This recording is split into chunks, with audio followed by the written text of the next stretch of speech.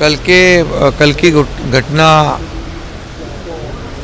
बाबा सिद्दीकी की जो हत्या हुई है, बहुत ही दुर्भाग्यपूर्ण है, दुखद है। और उसमें मुंबई पुलिस ने दो लोगों को गिरफ़्तार किया है। और एक यूपी का, एक हरियाणा का है। और तीसरा आरोपी फरार है, जो उसको पुलिस की टीमें हमारी अरेस्ट करने के लिए उनको और सब जगह भेजिए वो जल्दी उस अरेस्ट हो जाएगा। और ये सब जो कानून व्यवस्था बिगाड़ने का काम मुंबई में आकर जिन्होंने किया है उनको बिल्कुल बख्शा नहीं जाएगा। वो बिश्नोई गैंग हो या कोई अंडरवर्ल्ड का कोई भी गैंग हो किसी को भी हम छोड़ेंगे नहीं कड़ी कार्रवाई करेंगे और कड़ी सजा देंगे। कई लोगों को जो धमकियाँ मिल रही हैं उनकी सुरक्षा का भी सवाल है। वो जिनको धमकियाँ मिल रहे हैं उनको सुरक्षा उनकी आ, सुरक्षा का पूरी ज़िम्मेदारी सरकार की है और सरकार पूरी तरह वो ज़िम्मेदारी निभाएगी।